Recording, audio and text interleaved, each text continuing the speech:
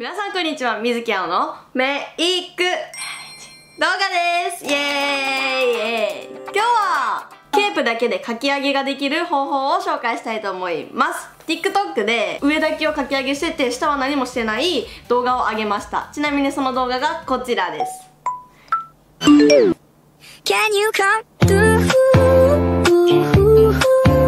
という動画でした。その時の髪の毛を教えてほしいというコメントがあったので紹介したいと思います。それではどうぞ。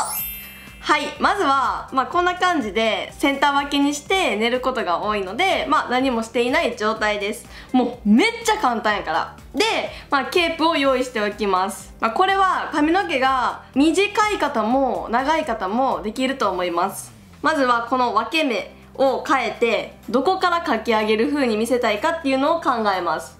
でこのままやとこう前髪がほらペタンってなってるから、まあ、普通の横分けみたいに今なっちゃっててこれをかき上げっぽく手ぐしみたいな感じでスッと後ろに向ける。であここの辺やなみたいなイメージを作ってあとはケープをするだけ。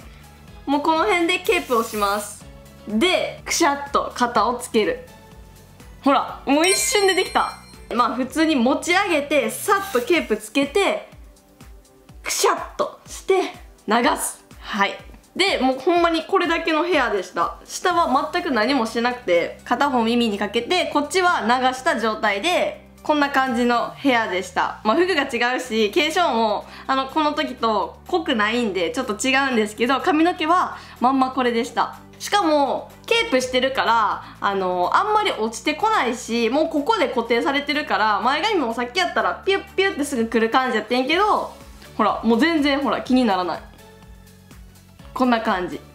になります。はい。ということでねぜひ皆さんももうケープだけでかき上げヘアやってみてください。あとストレートとかでも全然かき上げ似合うと思うし、まあ、巻かずにあもう今日前髪邪魔や。あもうピュってやるだけでも印象などは変わるのでぜひ挑戦してみてください。ということでご視聴ありがとうございました。チャンネル登録とグッドボタンよろしくお願いします。それじゃあまたね